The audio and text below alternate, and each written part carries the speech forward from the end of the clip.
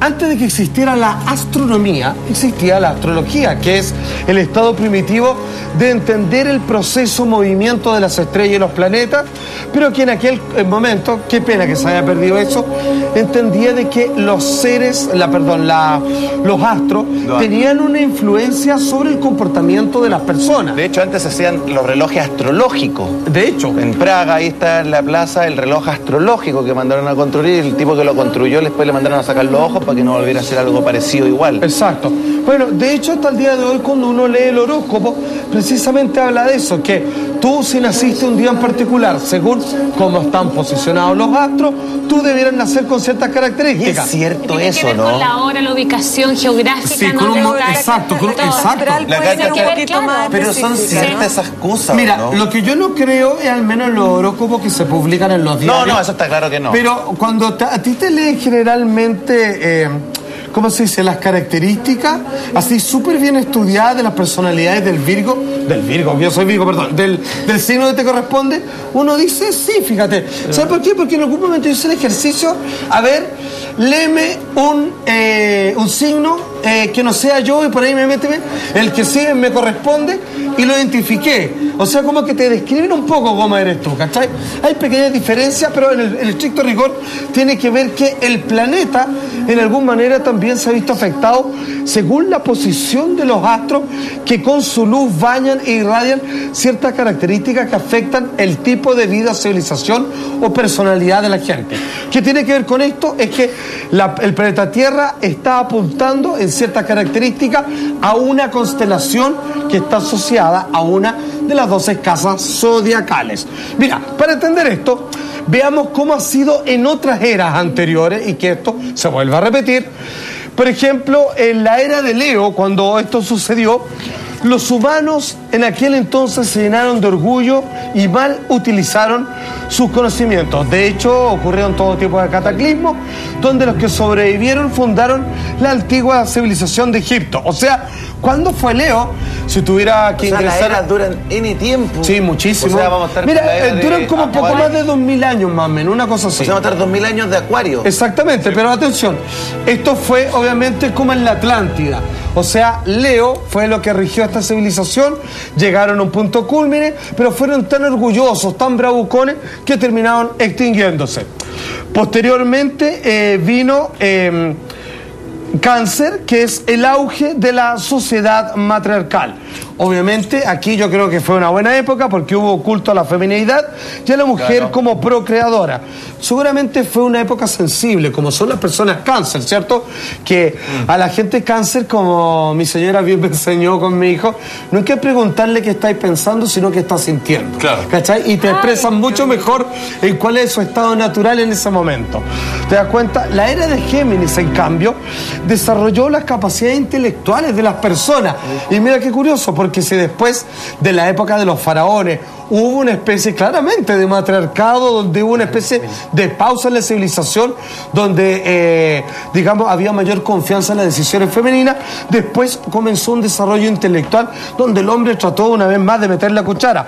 Sistemas de escritura aparecieron, la rueda, transportes básicos y de alguna manera hubo mayor confianza en los inventos de los grandes genios creativos de aquella civilización.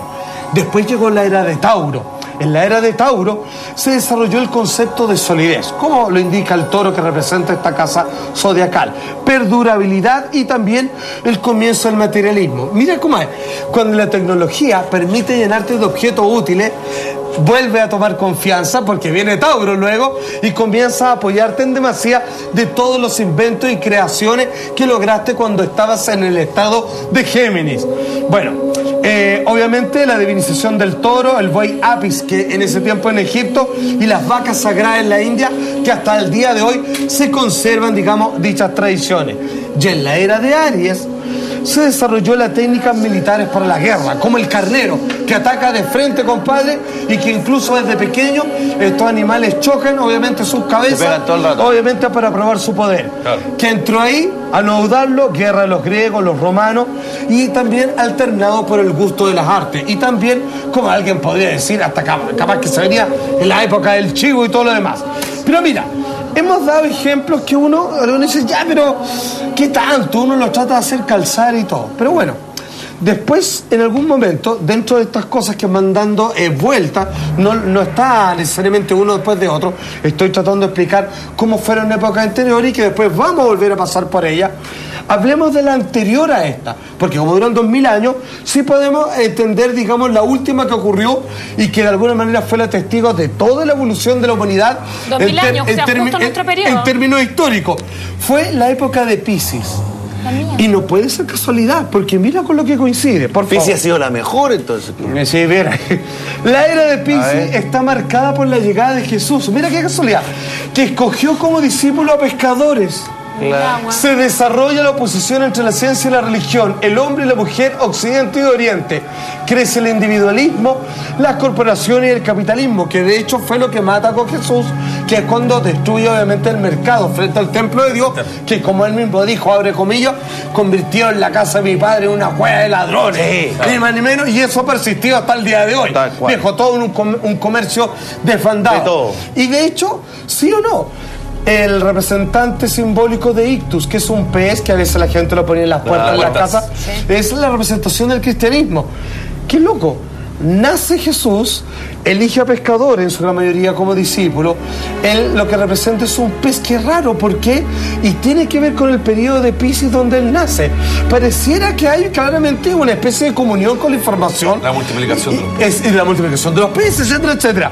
Pues bien, fíjate que aquí viene algo bonito, porque aquí viene después de Pisces, la era en que entramos ahora, la era de Acuario. Y aquí viene un texto genial en la Biblia, porque están los discípulos con Jesús en la época de Pisces, ¿cierto? Y todos viviendo normalmente, felices de la vida, y le dicen, ¿cuándo se viene eh, el avistamiento, digamos, de tu nueva venida? ¿Cuándo se viene, por así decirlo, los cambios en el mundo? Y él le responde de esta manera. Jesús envió a Pedro y a Juan diciéndoles para descubrir dónde comienza el nuevo periodo. Y él les dice, vayan y preparen la Pascua para nosotros. ¿Dónde deseas que la preparemos? O sea, ¿cuándo viene la celebración? ¿Cuándo hay que comenzar a celebrar? Le preguntaron y él, o sea, Jesús respondió, miren al entrar en la ciudad, le saldrá al encuentro un hombre que lleva un cántaro de agua. Síganlo a la casa donde entre y dirán al dueño de la casa, el maestro te dice, ¿dónde está la habitación en la cual pueda comer la Pascua con mis discípulos? Entonces él le mostrará un gran aposento alto, dispuesto, prepárenla allí. Lucas 22, 8, 12. ¿Qué es lo que está diciendo? ¿Cuándo se vienen los eventos? ¿Cuándo vamos a hacer la celebración de tu regreso? ¿De cuando la humanidad está preparada para recibir el abrazo de Dios? Le dice muy fácil. Vayan a la siguiente casa, las casas de, de los zodiacales, y van a saber cuál es cuando vean afuera que hay un hombre con un cántaro. ¿Y qué es eso? Acuario. Acuario. Es acuario, se representa un hombre con un cántaro. Viejo, o sea, claramente todo calza. Pareciera que Cristo se hubiera, eh, ¿cómo se llama? expresado en simbolismo que tiene una directa relación con la simbología astrológica, que tiene que ver que por periodos de miles de años la Tierra se enfoca a frente a una constelación.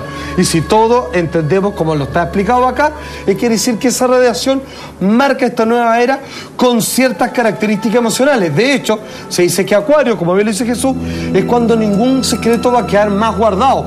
Todo se va a saber en su respectiva proporción. La era de Acuario y el cambio de la humanidad, que es el que entramos ahora. ¿En qué consiste? Buenas noticias, menos mal. En la constelación acuariana está presentada la armonización entre el hombre y la mujer. Viejo, no diferencia, equilibrio, eh, eh, obviamente la razón y la intuición, tanto del hombre como de la mujer, claramente unidos en un gran matrimonio. La materia y el espíritu, la razón y la intuición, denominada como la era dorada. Y obviamente, al igual que a los mayas que hacían lo mismo, brindará conocimientos y avances de todo tipo para eh, la humanidad. Ahora, en estricto rigor, si yo tuviera que hacer una especie de menú o, o catálogo de qué es lo que consiste, cuáles son los beneficios, si es que ¿Se viene bueno? de la hora del acuario, se viene bueno o malo, ¿quieres ¿Y en qué saber? ¿En qué nos afecta a nosotros directamente? Exactamente, directamente quieres saber, Sí, me espero pues, un tantito así pero y solo cuento. A la vuelta comerciales. ¿En qué va a consistir? Punto por punto, cada uno de los cambios Ya. que comienzan desde ahora.